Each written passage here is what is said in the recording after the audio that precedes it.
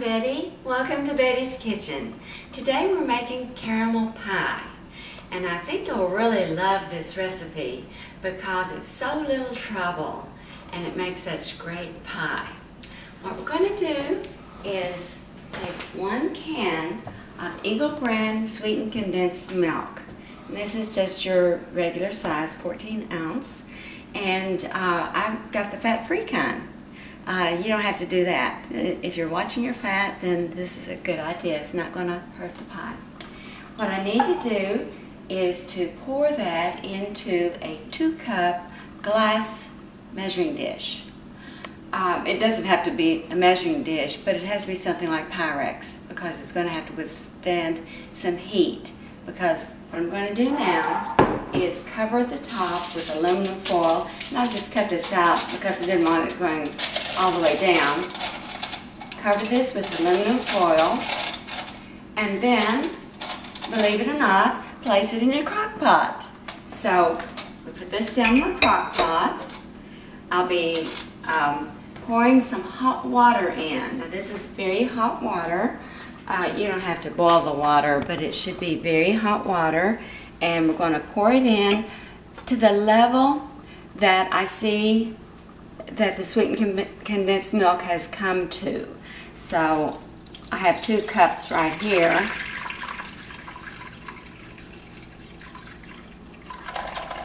And that doesn't do it.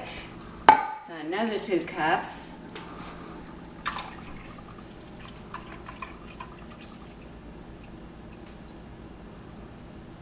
You can probably see the steam coming off the water. It is hot water.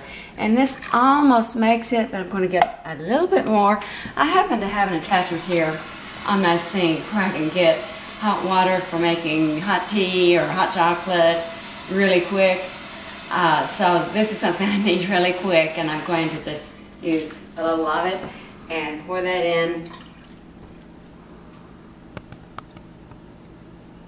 And now this is reaching the level to which our uh, sweetened condensed milk is poured.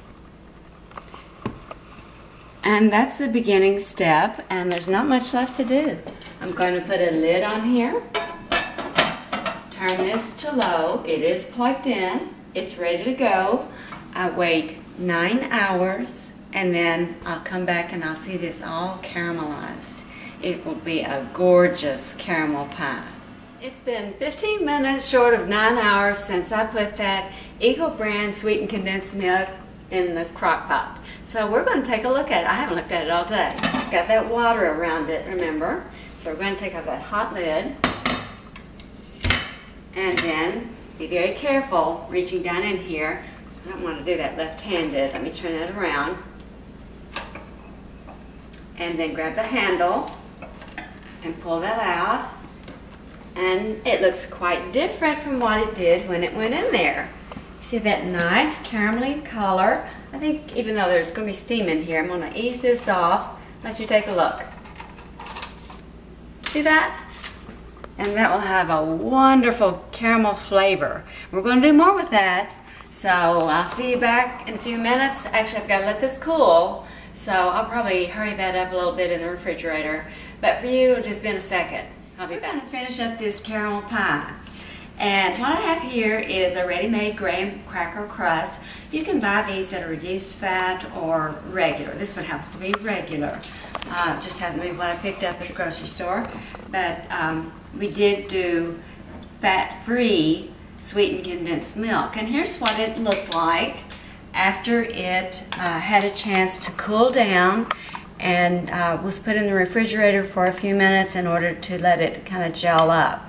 You want that consistency so that when you pour it over the bottom of your pie crust, you'll be able to spread it out.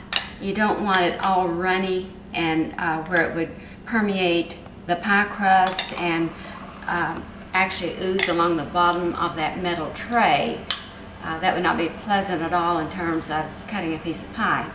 So we want this nice and gelled up and it just makes a wonderful pie filling.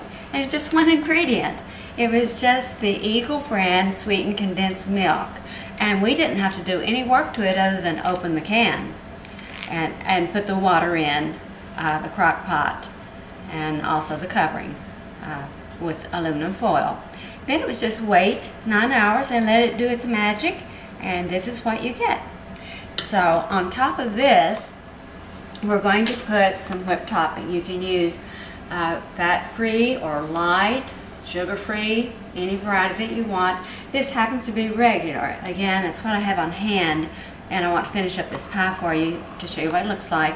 But if you're cutting down on calories or cutting on your fat, then just make the substitution. It will make maybe a slight amount of difference, but you can see uh, from the look of the caramel that uh, the fat-free element did not affect the way that came out and I've already tasted it and it's very good. It's super good in terms of caramel flavor.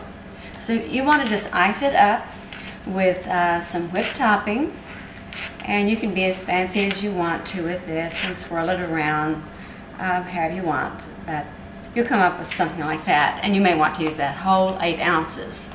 Um, when you finish with that, one nice thing to decorate this with is a Heath bar. Now this is toffee and this one happens to be frozen because I had one that was just like it that I put into my kitchen chopper and chopped up. It was easier to chop, frozen. Uh, so now that I have this uh, chopped up, I'm going to just sprinkle these Heath bar bits along the top and it makes a wonderful garnish for this caramel pie. Can you imagine an easier pie to make than this? One ingredient for the filling and basically not much work to do. Wait on it a little while, spread it with whipped topping, and then top it off with some bits of Heath bar. And it looks luscious.